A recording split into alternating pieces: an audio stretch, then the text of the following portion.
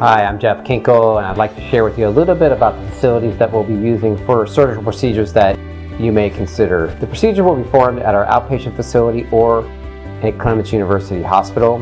Regardless of where we do your surgical procedure, uh, if you are going to spend the night with us, you will spend the night with us at Clements University Hospital. Clements University Hospital has been open for about two and a half years. It was just recently voted uh, the number one hospital in Dallas-Fort Worth by U.S. News and World Report and is in the top 50 hospitals in the country. It's a very special place.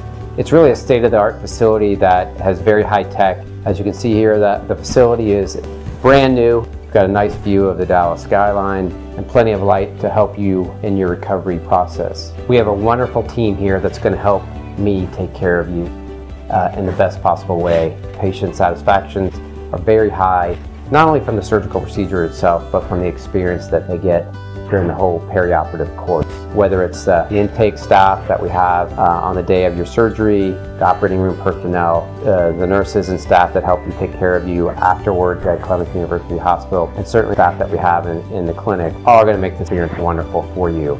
You know, we've got a huge team that's going to allow you to, to achieve the results that you're really looking to, to gain from a surgical procedure.